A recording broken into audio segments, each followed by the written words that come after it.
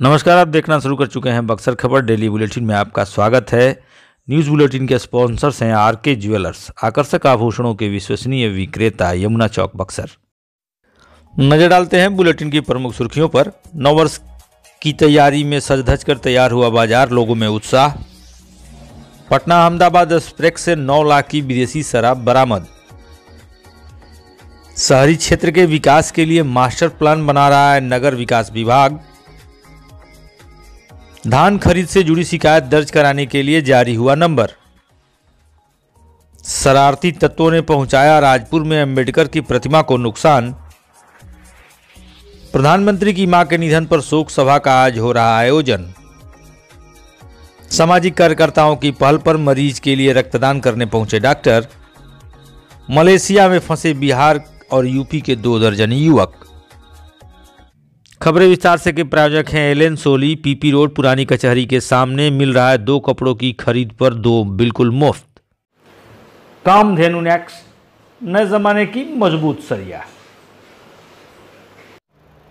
Jindal panther cement एवं सरिया के मुख्य विक्रेता गंगा सागर बिल्डिंग मटेरियल, गोलंबर बक्सर एवं सिमरी।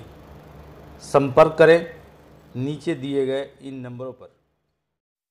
अब खबरों की चर्चा विस्तार से आज 21 दिसंबर की तारीख है। लोग नौ वर्ष की तैयारी में जुटे हैं। कल एक जनवरी 2023 की पहली तिथि होगी। इससे पहले ही लोग नौ वर्ष के लिए जगह जगह पिकनिक एवं घूमने की योजना बना रहे हैं।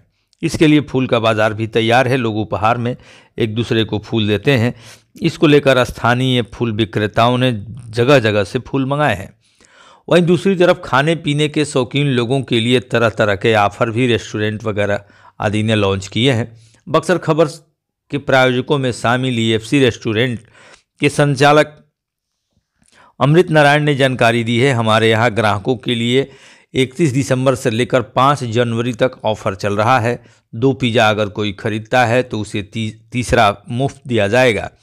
इसके लिए रेस्टोरेंट में लोगों को आमंत्रित किया गया है। साथ ही साज सजावट भी की गई है ताकि वहाँ पहुँचने वाले लोग नौ वर्ष का लुफ्त उठा सकें और आजकल एक नया प्रचलन है, लोग कहीं जाते हैं तो तरह तरह की तस्वीरें लेते हैं।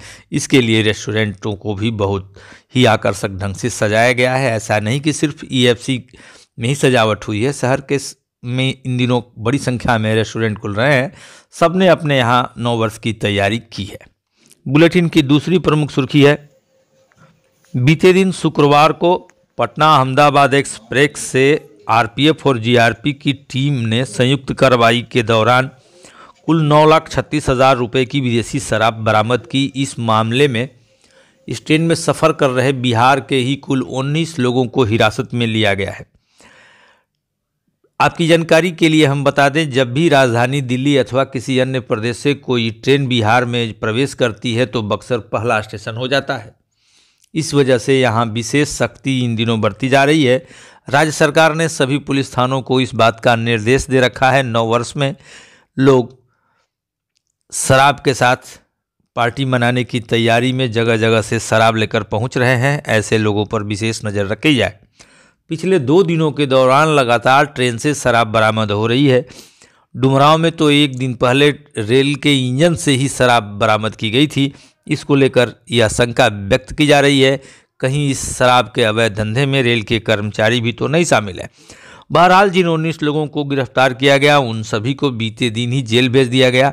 इनके पास से सामान भी बरामद हुआ है, जिसे लेकर वे अपने घर लौट रहे थे। बुलेटिन की तीसरी सुर्खी है, शहरी क्षेत्र के विकास के लिए नगर विकास विभाग मास्टर प्लान बना रहा है। जिलाधिकारी अमन समीर, डीडीसी महेंद्र पाल एवं एडीएम के ने संयुक्त रूप से इसके लिए बीते दिन शुक्रवार को बैठक की, जिसमें यह जानकारी दी गई कि शहर से सटे कुल तीन वर्ग किलोमीटर क्षेत्र का विकास होना है, जिसमें 24 किलोमीटर शहरी तथा 370 वर्ग किलोमीटर ग्रामीण क्षेत्रों का विकास होगा। इसमें चौसा एवं इटाढ़ी नगर पंचायत के भी कई गाँव शामिल हैं। कुल मिलाकर अगर हम आपको बताएँ तो दो गाँवों का विकास किया जाना है, इसकी रूपरेखा प्रशासन तैयार करने में जुटा हुआ है। बुलेटिन की चौथी सुर्खी है, धान खरीद को लेकर किसानों को उचित समर्थन मूल्य का लाभ नहीं मिल रहा है, इसको लेकर तरह तरह की शिकायतें आ रही हैं। जिला प्रशासन ने एक नंबर जारी करते हुए यह जानकारी दी है। स्क्रीन पर आप वह नंबर देख रहे हैं, zero six one eight three Buxar का कोड है, बाईस तेईस छियालीस यह एक नंबर है। इस पर फ़ोन करके किसान कार्यालय अवधि में अपने यहाँ हो रही या अपने साथ हो रही अनियमितता की शिकायत कर सकते हैं। इस पर जिला प्रशासन यथाशीघ्र कार्रवाई करेगा।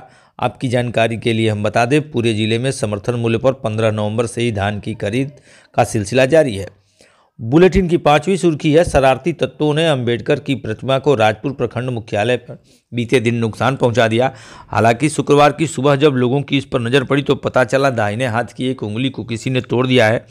सूचना मिलते ही मौके पर राजपुर के थाना अध्यक्ष यूसुफ अंसारी वीडियो इंदुवाला सिंह, सीओ आदि पहुँचे। इन लोगों ने स्थानीय लोगों से इस बारे में जाना और उचित कार्रवाई का आश्वासन दिया। ये पूर्ण है कि एक महापुरुष, जो विश्व लेवल के ख्याति प्राप्त महापुरुषों में से हैं, इनकी तस्वीर प्रखंड मुख्यालय में प्रशासनिक अधिकारियों के ही देखरेख में लगी। लेकिन दुर्भाग्यपूर्ण कहा जाए कि मैंने इनकी मूर्ति को क्षतिग्रस्त कुछ असामाजिक तत्वों द्वारा किया गया है।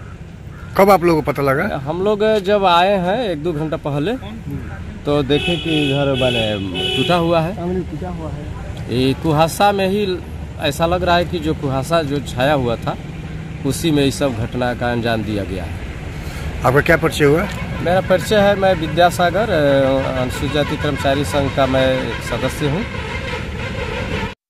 अभी आपने एक कर्मचारी की बात सुनी, दूसरी तरफ़ लोजपा के जिला अध्यक्ष अखिलेश कुमार सिंह ने जिलाधिकारी से मिलकर एक ज्ञापन सौंपते हुए ऐसा करने वालों के खिलाफ कठोर कार्रवाई करने एवं उन्हें गिरफ़्तार करने की मांग की है। जिलाधिकारी ने उनका ज्ञापन स्वीकार कर लिया है।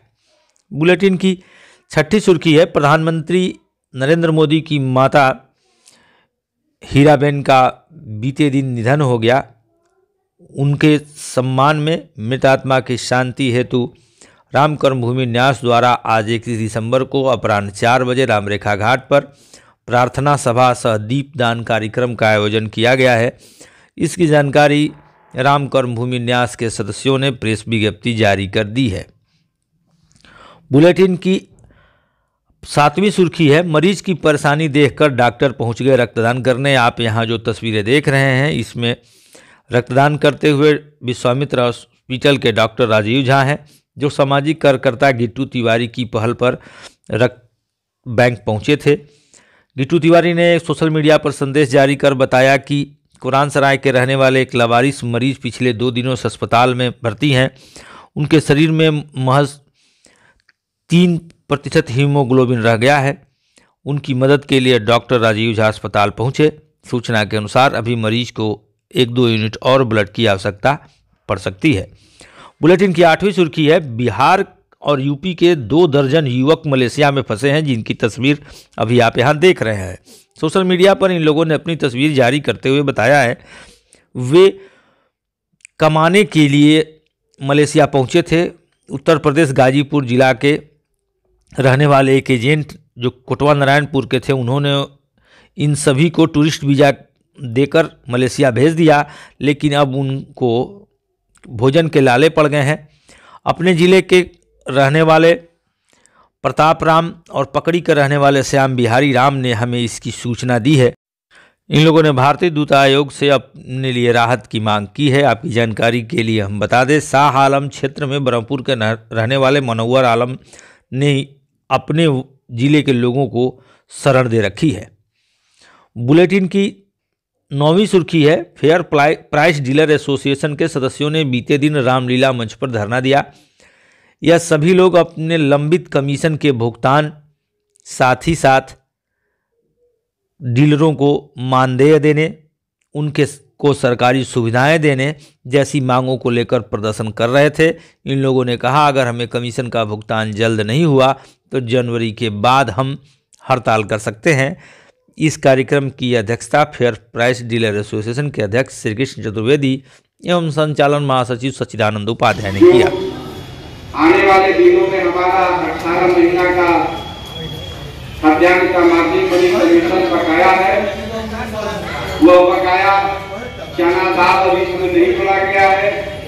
प्रधानमंत्री कोविड जो राहगीरों के लिए आधार कार्ड पर खाद्यान्न का वितरण किया जा रहा था, उसका पर मार्जिन मनी नहीं जोड़ा गया है।